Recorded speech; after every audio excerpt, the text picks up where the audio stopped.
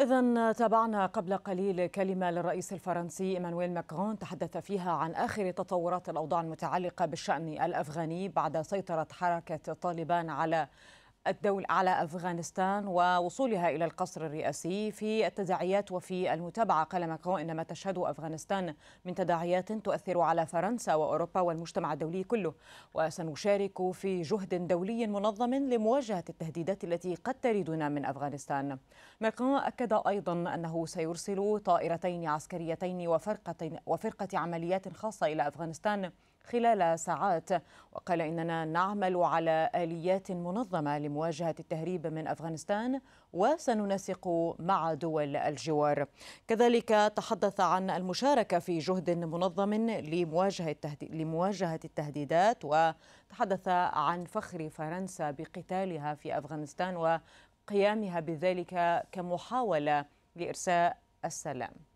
أفاد مراسل الجزيرة في العاصمة الأفغانية كابول أن إطلاق أن إطلاق رصاص كثيف شهده قبل قليل محيط مطار كابول.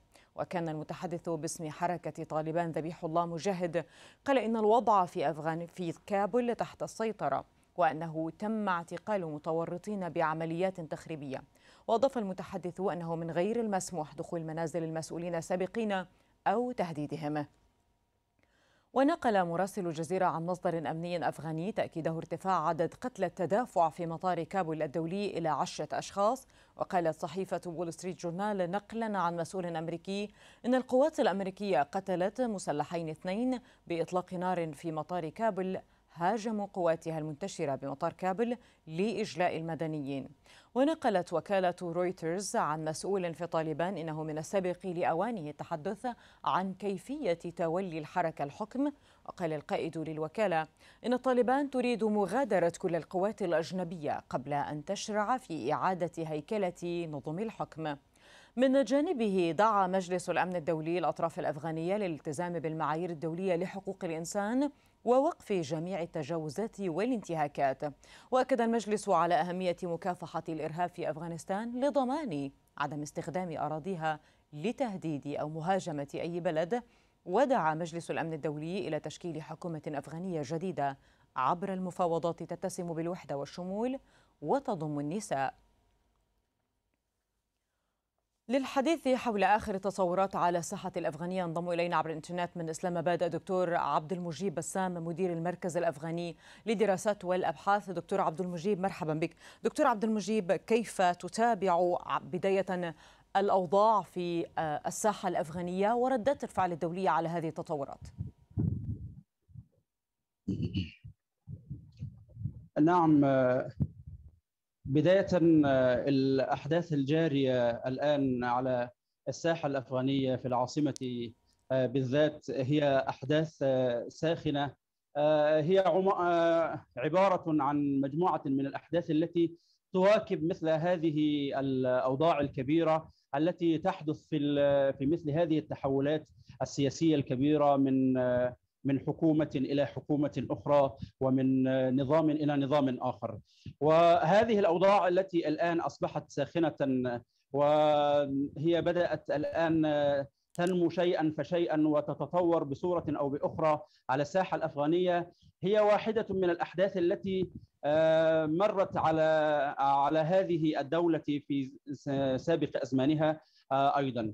إضافة إلى أن الأحداث الجارية الآن على الساحه الأفغانية سواء كان ذلك يتعلق بالحكومة المقبلة ومشاركه الأطراف السياسية المختلفة لحركة طالبان في هذه الحكومة المقبلة أو سواء كان ذلك مما يحدث الآن فيما يشبه أحداث مطار كابل وما حولها من المناطق التي حدثت فيها الأحداث التي رآها العالم اليوم. المهم في الأمر من كل هذا هو أن حركة طالبان الآن بدأت تتفاوض فيما بينها مع الأطراف المختلفة مع مكتب قطر اولا مع مكتب المكتب السياسي لحركة طالبان في قطر ومع المسؤولين الذي المتواجدين على الساحة الأفغانية أو المنضمين إليها من الجهات المختلفة. فحسب التقارير المستجدة الآن عندنا هناك مجموعات كبيرة من حركة طالبان بدأت تقدم نحو العاصمة من جهات مختلفة. وهذا يعني أن أن حركة طالبان هي تخطط لأن تكون هناك حكومة مرتبة أو منظمة أو في بداية الأمر هي تحاول أن تتم السيطرة على الأوضاع بصورة كاملة. من الأخبار التي هي الآن عرفناها في الآونة الأخيرة هي أن المتحدث باسم الحركة ذبيح الله مجاهد هو قال إن المجموعة من قيادات الحركة أيضا بدأت تتجه نحو العاصمة من من الأطراف أو من الولايات الأفغانية أو ربما بعضها من خارج البلاد حسب تعبير بعض الجهات المتنوعة. الجديد في الأمر أن هناك محادثات متنوعة بين الأطراف السياسية المختلفة غير حركة طالبان أيضا أيضا بما في ذلك شخصية عبد الله عبد الله وقلب الدين حكمتيار ومجموعة من العناصر التي كانت موجودة في الحكومة السابقة.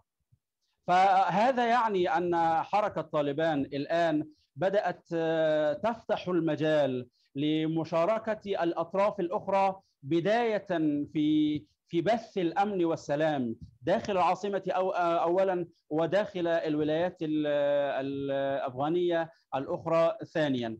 كما أن هناك نعم. الآن مجموعة سيد بسام ابقى معي دقيقة واحدة حيث نقرأ هذا الخبر العاجل. مجلس الأمن الدولي يدعو جميع الأطراف في أفغانستان إلى السماح بدخول المساعدات الإنسانية دون عراقيل. اذا مجلس الأمن الدولي يدعو جميع الأطراف في أفغانستان إلى السماح بدخول المساعدات الإنسانية دون عراقيل. دكتور عبد المجيب هذه الدعوات التي تخرج عن المؤسسات الدولية كمجلس الأمن وتخرج عن المؤسسات الإغاثية كالأمم المتحدة والصليب الأحمر وغيرها.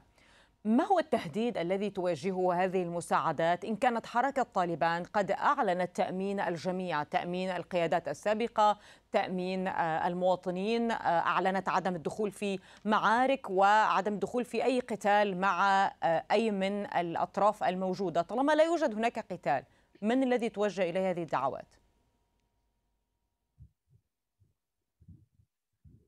بداية قضية تقديم المساعدات من هذه الأطراف. هذه هي في الحقيقة يعني الواجب الحقيقي لهذه الجهات التي تراه من المفروض عليهم أو على عاتقهم في أن يقدموه لمثل هذه الأحداث أو لمثل هذه الأوضاع. للبلاد التي هي هي تعتبر عموما في العالم بلادا منكوبة وحالة أفغانستان الآن هي قد تكون مختلفة عن البلاد المنكوبة لكنها يعني في نظر كثير من الناس من المتوقع أنها تكون معرضة لمجموعة من المخاطر الكبيرة التي تكون بحاجة إلى مجموعة من هذه المساعدات. موقف حركة طالبان من مثل هذه المساعدات سواء أكان ذلك من هذه الجهات الرسمية أو غيرها من الجهات البشرية الأخرى.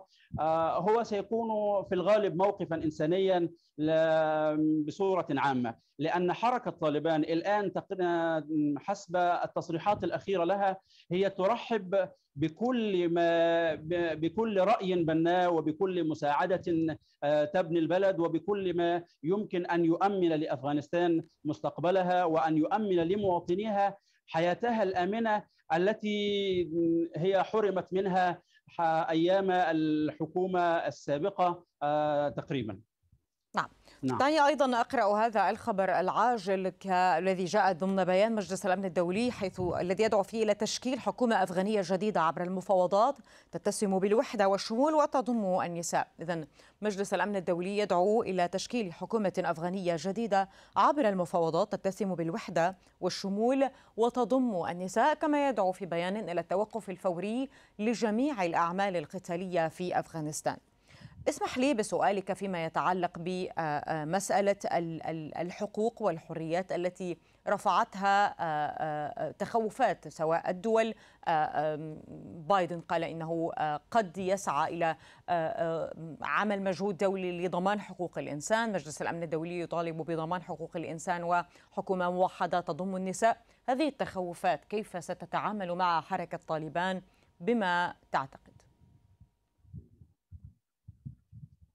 هو في الحقيقة هذا الأمر يعني يجب أن نصبر قليلا برأيي للأيام القادمة حتى تخرج الأمور بصورتها الواضحة في الأيام القريبة القادمة، لكن بصورة عامة موقف حركة طالبان من الحكومة الموحدة ومن خاصة ومن قضية عمل المرأة فيها هو موقف واضح بصورة بسيطة وليس بصورة كلية.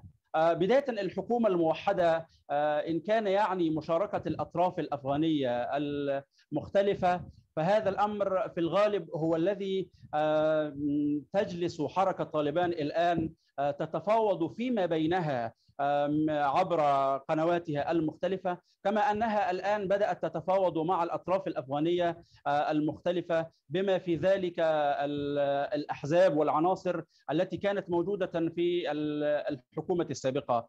ومن الأخبار التي سمعناها الآن أن حركة طالبان الآن تدعو مجموعة من تلك العناصر التي كانت تشتغل في مجموعة من الوزارات أو المناصب المختلفة لتحتلها مرة أخرى إلى القرار القادم الذي سيصدر قريبا. بالنسبة لقضية المرأة هو الأمر الواضح أنهم أن الحركة قالت عبر متحدثها الرسمي أن المرأة هي سيسمح لها بالعمل وسيسمح لها بمزاولة مجموعة من أعمالها الأساسية في المجتمع شريطة أن تكون ملتزمة بالحجاب الشرعي وبألا تكون مرة أخرى يعني تصطاد حسب تعبيرهم تصطاد مرة أخرى من مجموعة من الجهات. المختلفة. نعم. نعم ابقى معي سيد عبد المجيب عبد المجيب بسام. ينضم إلينا عبر الهاتف من إسلام آباد المحلل السياسي حذيفة فريد. سيد حذيفة مرحبا بك. سيد حذيفة بداية دعني أسألك كيف تتابع التطورات اليوم؟ هناك هدوء في أفغانستان كما قيل من عدد من التصريحات ولكن هناك خارج أفغانستان سيل من التصريحات من الدول ومن الفاعلين الدوليين أرحب بكم وبضيوفك الكرام وأرحب بالساده المشاهدين. بالنسبة للموقف الباكستاني فقد أطلقت وزارة الخارجية الباكستانية تصريحات تحدثت فيها عن التطورات الأخيرة في أفغانستان مشددة على انها ترغب في أن تكون أفغانستان آمنة وأن يرى وأن يعني أن يعيش الشعب الأفغاني وأن يلقى الشعب الأفغاني حياة كريمة على عكس ما كان في العقدين الاخيرين من من الزمن.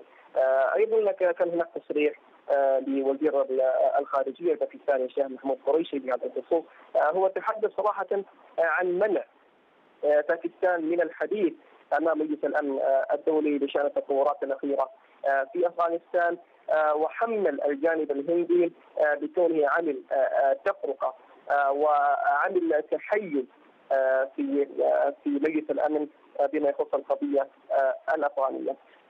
هذا من ناحية ومن ناحية أخرى يعني باكستان أعطت غطاء سياسي لحركة طالبان.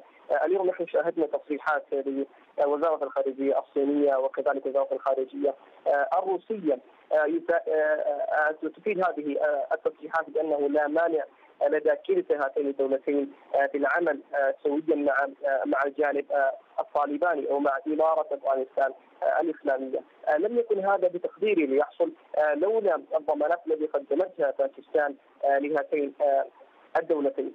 طبعا سوف نشهد في الأيام القادمة أيضا عمل دبلوماسي كبير من من قبل باكستان يترتب عليه اعتراف أيضا مجموعة أخرى من من الدول. حاليا باستتباب الأمن في أفغانستان يعني كان آخر معقل فيه فيه مشاكل في أفغانستان كان هو مطار كابول الدولي ولكن حتى يعني الآن بحسب الأخبار الأخيرة المتداولة والمصادر من أفغانستان فحتى مطار كابل الدولي الآن أصبح في يد في يد في يد طالبان.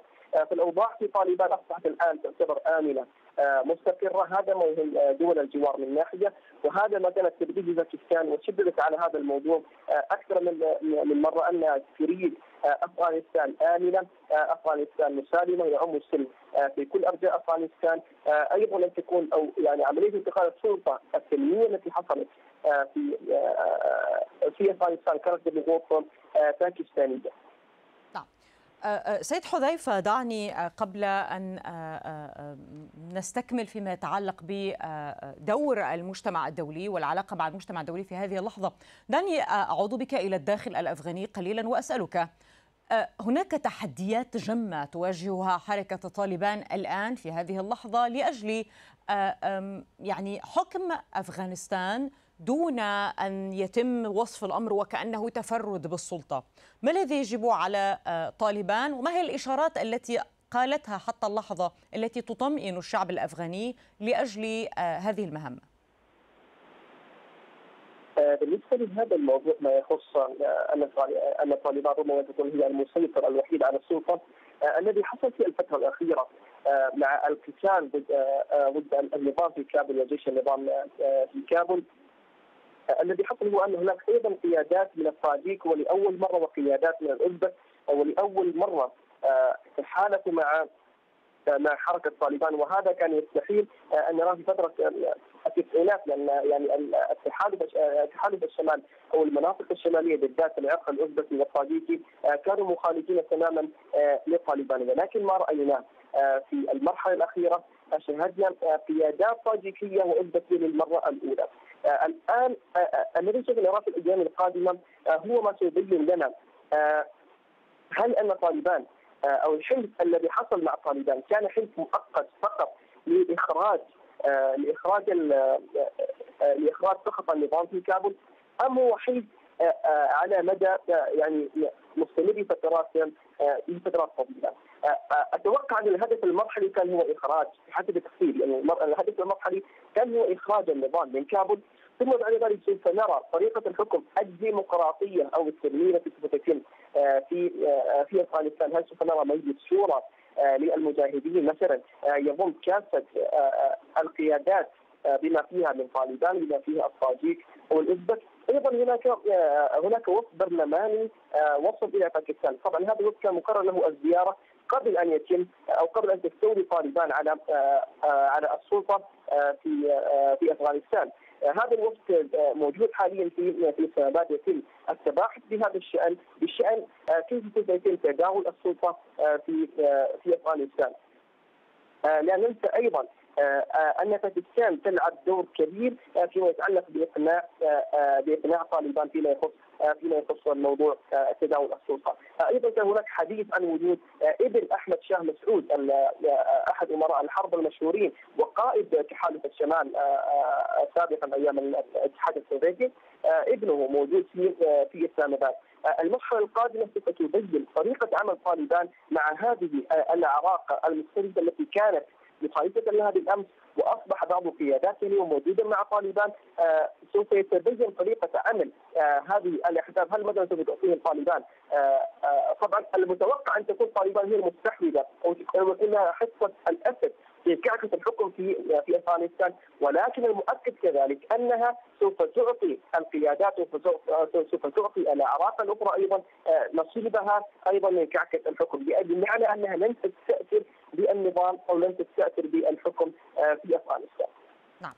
طيب دعني أيضا أسألك يعني منذ الأمس وحتى اللحظة لم نسمع أكثر من كلمة التخوفات من عودة أفغانستان كمعقل للإرهاب مجددا، الحديث من قبل الولايات المتحدة الأمريكية، فرنسا، ألمانيا، بريطانيا، كل هذه الدول تتحدث عن احتمالية عودة أفغانستان كمعقل للإرهاب مجددا، هذا وإن كان يضع تساؤل عن موقف حركة طالبان والذي سيحتاج إلى بعض الوقت للتأكد منه، هو يضع تساؤل على هذه الدول عندما تم وضع اتفاق مع حركة طالبان وبعدما أمضت عشرين عاما في هذه الدولة في أفغانستان ما الذي قامت به لمنع مسألة تحول أفغانستان كمعقل للإرهاب ولماذا هي تثير هذا التخوف والتوتر مجددا؟ هو كان حديث أيضا سابقا آه، يتحدث مثلا عن أن أمريكا ربما سوف تعود مرة أخرى لمحاربة الجماعات آه، الإرهابية في آه، في أفغانستان. ولكن بتصوري أن الوضع الحالي في أفغانستان لن يكون كما كان في السابق لن نرى جماعات إرهابية يعني كما كما يتحدث عنها الإعلام الغربي، ما يجري حاليا صراحة هو عملية شيطنة مستمرة للحركة على جميع الأصعدة وجميع النواحي، كانت هناك شيطنة إعلامية ما يخص قضايا المرأة مثلا وقضايا التعليم وغيرها من القضايا التي لا أعتبرها موضوعية. هذه اللحظة ليست آه، آه، آه، ذات الموضوع أنا أتحدث عن دولة يعني منهارة لمدة قرابة 50 عام أو 40 عام من أيام الاحتلال السوفيتي ثم بعدها أيام الاحتلال الأمريكي. لم يكن هناك استقرار في هذه في هذه المنطقة. بالفعل نعم هي كانت بقعة مليئة بكثير من الحركات الجهادية سواء تنظيم القاعدة أو سواء داعش وغيرهما. ولكن لو نظرنا نحن إلى أفغانستان مثلا من حيث العلاقة ما بين تنظيم داعش والعلاقة ما بين طالبان فالعلاقه ليست ليست ذات صلة. كلا الطرفين يعارض الطرف الآخر كلا الطرفين من كل الأعداء للطرف الآخر يستحيل أن يجتمعا البته وذلك بسبب الخلافات العقدية بين بين كلا كلا الطرفين.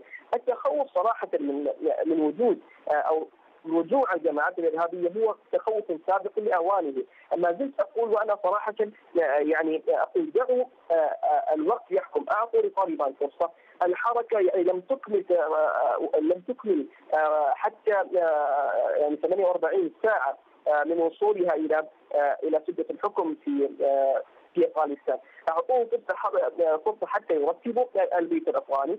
ثم بعدها نستطيع الحكم، اما الحديث الآن عن عودة الجماعات الإرهابية أو عودة الحركات الإرهابية المتطرفه في أفغانستان هو حديث سابق لأوانه، نشوء حركات إرهابية جديدة أيضا لم يكن بهذه السهولة، نتكلم عن مجتمع أفغاني تحكمه اعراف وقبائل وعادات وتقاليد، فنشوء حركة إرهابية لم يكن بتلك السهولة التي التي تصورها الإعلام الغربي أو التي يغذيها الإعلام الغربي.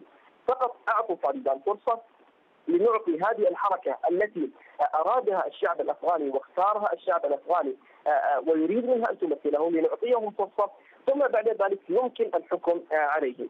نعم شكرا جزيلا سيد حذيفة فريد المحلل السياسي. كنت معنا عبر الهاتف من إسلام أباد. أعود إليك مرة أخرى سيد عبد المجيب بسام.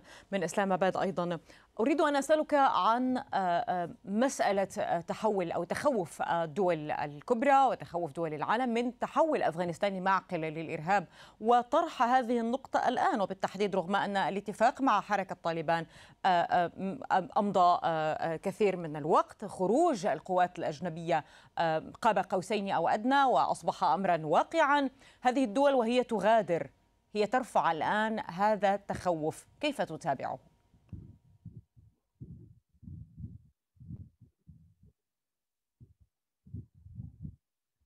سيد عبد المجيب بسام. نعم. نعم. سألتك عن كيف تتابع رفع الدول الكبرى إلى تخوف تحول أفغانستان مرة أخرى إلى معقل للإرهاب بعد سيطرة حركة طالبان على الحكم مرة أخرى ووصولها إلى القصر الرئاسي في كابول. آه، هو بداية آه، باعتقادي آه، أن الدول الكبرى آه، يحق لها أن آه، أن تتوقع أن تكون أفغانستان آه، مرة أخرى مرة مرة أخرى معقلا للإرهاب أو تخويف الدول المجاورة أو البعيده أيضا. وذلك لأسباب. السبب الأول أن الدول الكبرى في هذه العقدين من الزمان لم يروا من حركة طالبان آه، غير الضربات آه، المؤلمة. آه، وذلك بحكم الحرب التي كانت بينها وبين القوات المحتلة لهذه البلاد. فمن حق هذه الدول أن تكون متخوفة من هذا الأمر بصورة أو بأخرى.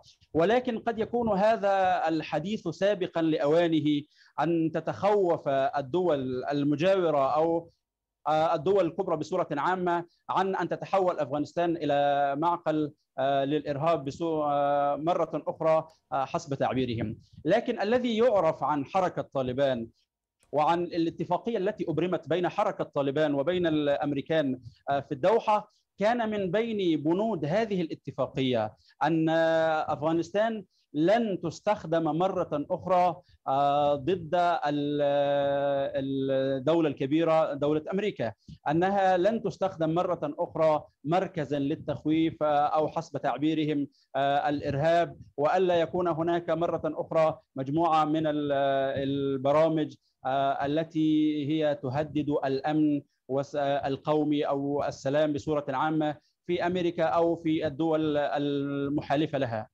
فهذا التخوف هو لن ينتهي إلا بعد أن تبدأ الحكومة حركة طالبان في ترتيب حكومة جديدة التي ستبث بعد ذلك برامجها وسياساتها المختلفة وتعلنها للأطراف العامة سواء كان ذلك للأحزاب السياسية المتواجدة على أرض على أرض أفغانستان حاليا أو سواء كان ذلك في تعاملها مع الدول المجاورة أو مع الدول الكبرى بصورة أو بأخرى.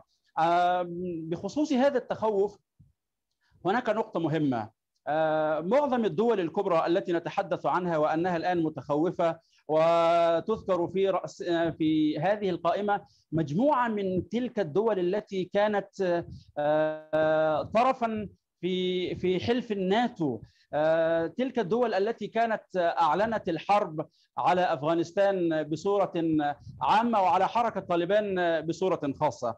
فهذه الدول التي كانت جزءا في حلف الناتو أو التي كانت تحارب حركة طالبان وتحتل هذه البلاد مدة من الزمن قد يكون عندها الحق في أن تكون في في تخوف من أن تتحول هذه الدولة مرة أخرى خاصة وأن أن الأيام القادمة هي يبدو أنها لحركة طالبان وأنها هي التي ستدبر أمر هذه الدولة وأنها ستشارك معها مجموعة من الأطراف الأفغانية في داخل هذه الدولة آه الأمر الذي نعم تفضل نعم.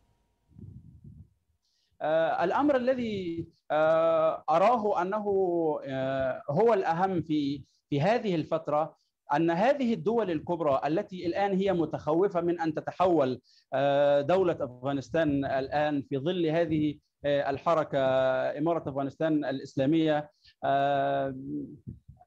الأهم من هذا من أنها من أول يوم لما كانت أعلنت الحرب على أفغانستان كانت دخلتها لأمرين، الأمر الأول هو القضاء على حركة طالبان الإرهابية حسب بحد تعبيرهم، والأمر الثاني هو أن يستتب الأمن والسلام في هذا البلد وينتشر بعد ذلك من هذا البلد إلى البلاد المجاورة.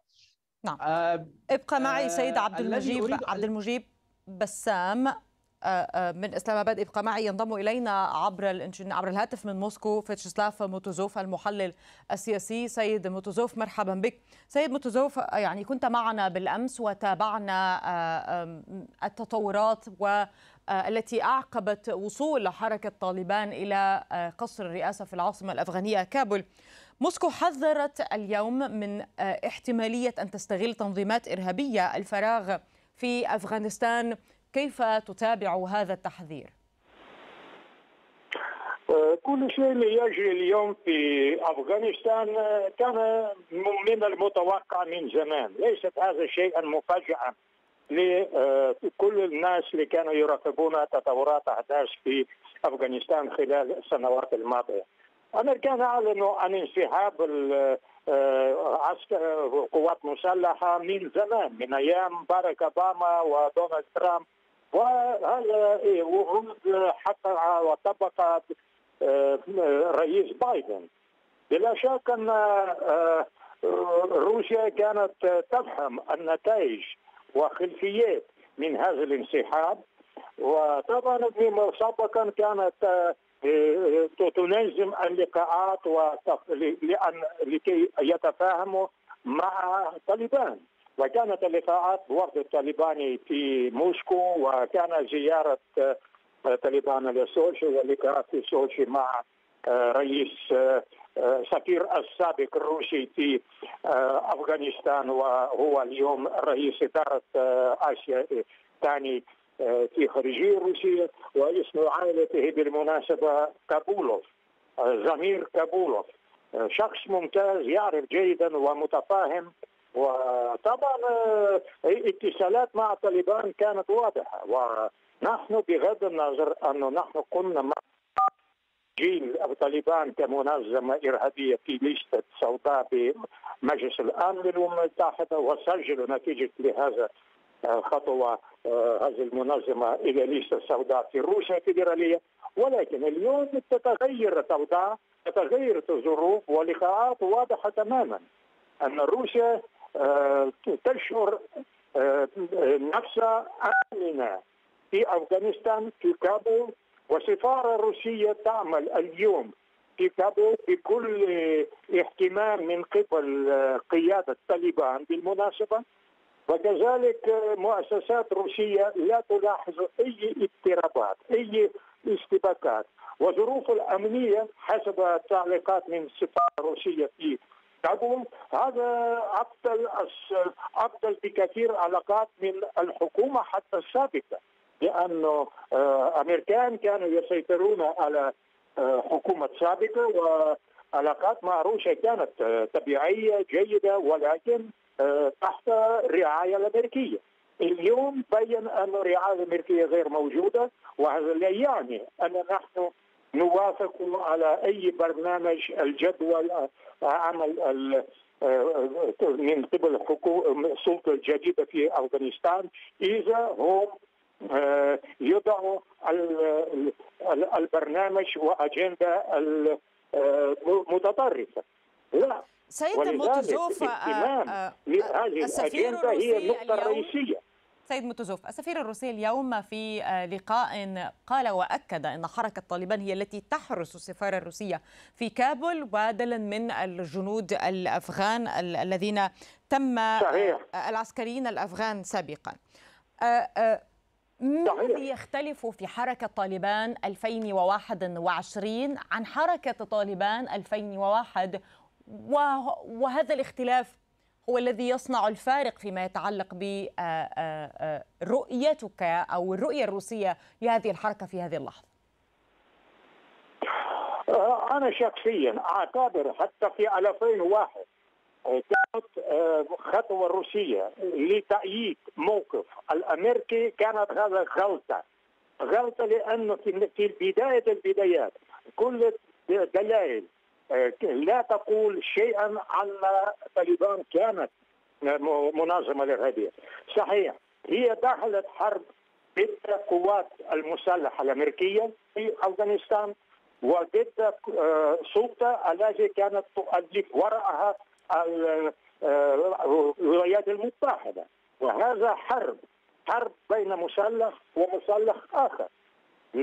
قضية الإرهاب هذا إرهاب عندما مسلحين يقتلون ويعذبون المدنيين.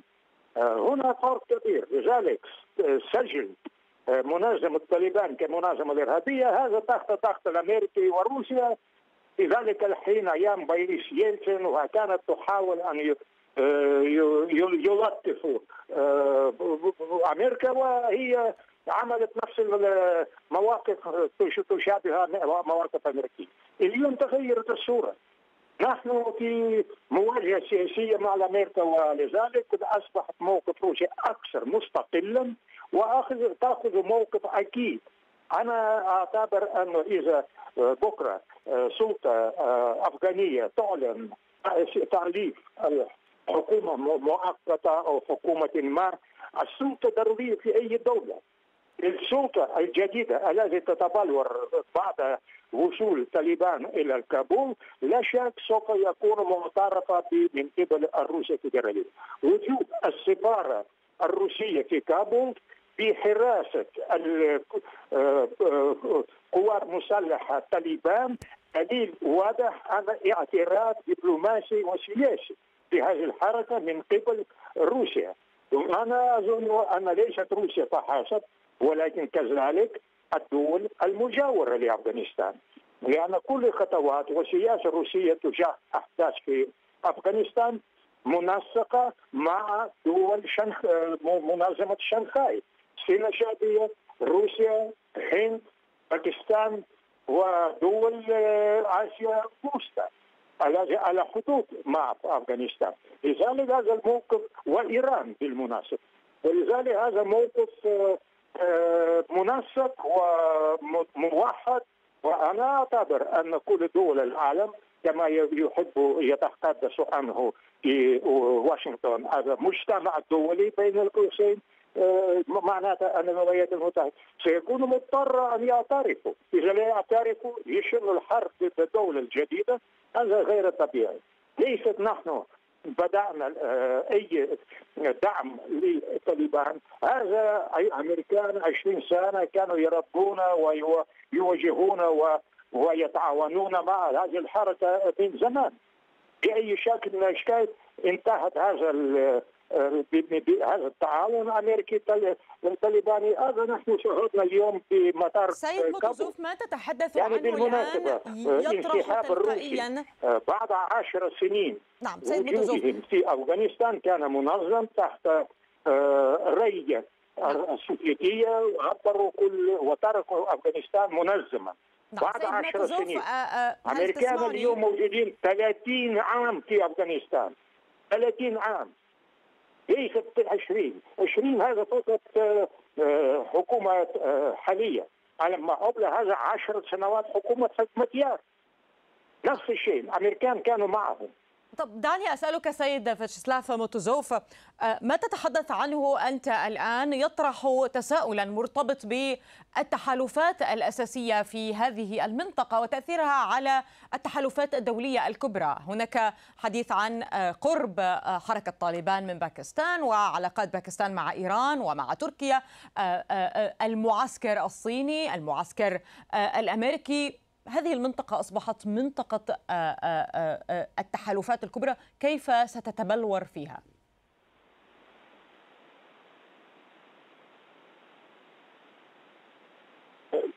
طبعا منطقة أصبحت منطقة تح... تتركز فيها اهتمام الدول ولكن اهتمام الدول المجاورة قبل كل شيء كان مصلحة الخوف الأمريكي اللي نحن سمعنا عنه خلال مناقشة ملف أفغاني في اجتماع التاريخ لمجلس الأمن للأمم المتحدة امبارح لا شك أن هذا دليل ممكن نوافقه. خوف موجود. خوف موجود حتى لدي الروس. لأن بروز الداعش بروز القاعدة عناصر الذي وراءها استخبارات مركزية أمريكية وليست هذا صنع العربي صنع إسلامي.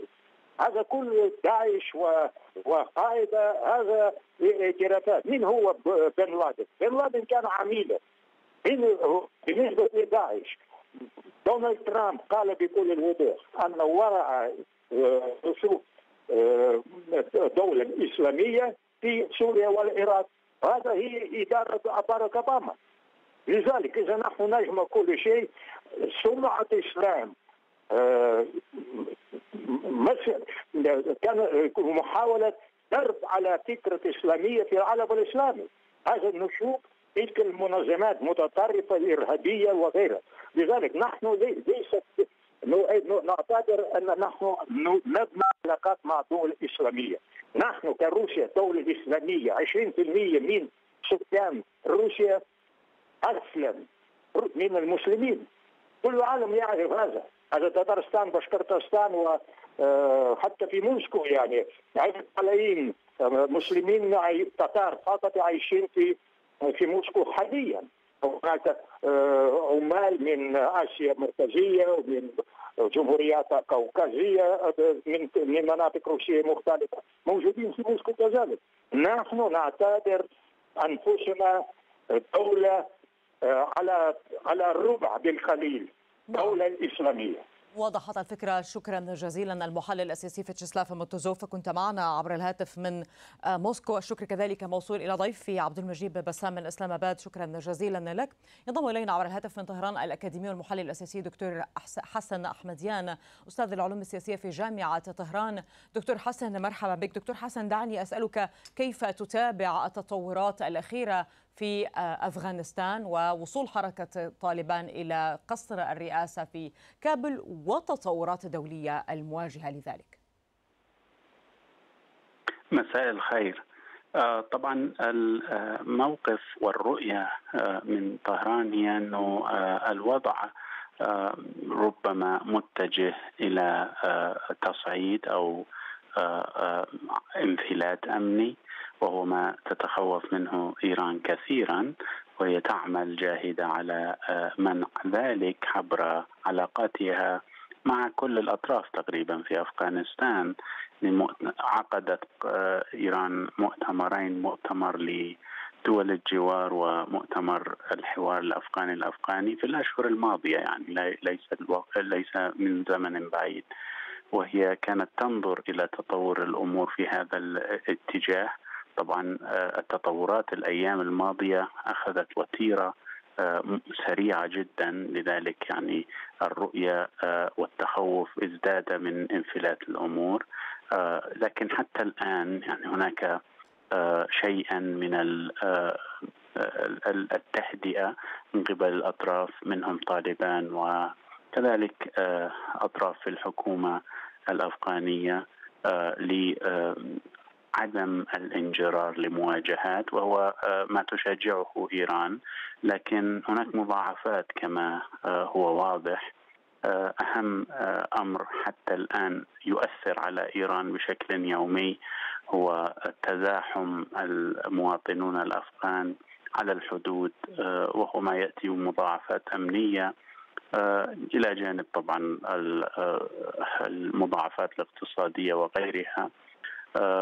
إلى جانب ذلك هناك طبعا علاقات بنيت في العقدين الماضيين علاقات اقتصادية على أنه إيران أول شريك تجاري لأفغانستان حاليا.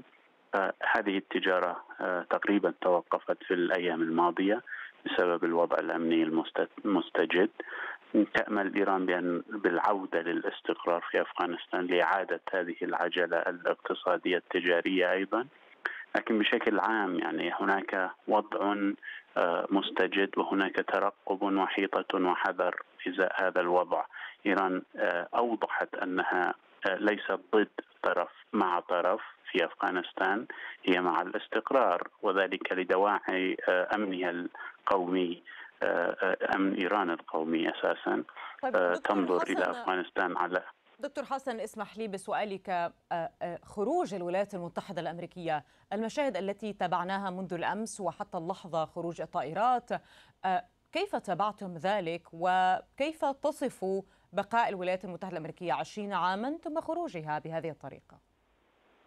يعني الواضح أنه الأهداف المعلنة امريكيا لم تتحقق ايا من هذه الأهداف. يعني أساسا جلوس المسؤولين الأمريكيين مع قيادات من طالبان كان إعلان لفشل الاستراتيجيه السابقه القائلة بنهاية هذه الحركة ونهاية حكمها في أفغانستان. وهذا بدأ منذ عقد تقريبا بتقسيم طالبان أكثر من عقد بتقسيم طالبان إلى طالبان جيد وطالبان سيء من قبل الإدارة الأمريكية الأسبق يعني إدارة الرئيس أوباما. ثم انتقلت إلى التحاور مع هذه الحركة في إدارة الرئيس ترامب وبعده طبعا الوضع المستجد.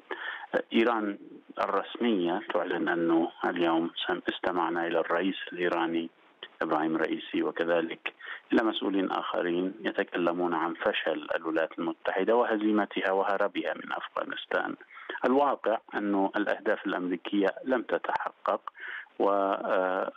وخروج الولايات المتحدة بهذا الشكل طبعا ينظر إليه على أنه هزيمة كبيرة لحقت لحقت بالولايات المتحدة وهو أمر ينظر إليه بإيجابية كبيرة نظرا لأنه الولايات المتحدة كانت تحاول منذ عقدين فرض ما تريد هي ليس بالضرورة ما يريده الشعب الأفغاني رغم أنه إيران وقفت إلى جانب التجربة الديمقراطية بأفغانستان لكن بشكل عام يعني الضغط الأمريكي والحضور الأمريكي العسكري لم يكن محبذا ولا مقبولا ايرانيا وإيران لم يعني لم لم لم تتراجع عن إعلان أنه هذا الحضور غير مقبول على الجوار لأنه أساسا كان يمثل أكبر من من أكبر التهديدات التي كانت تحيط بإيران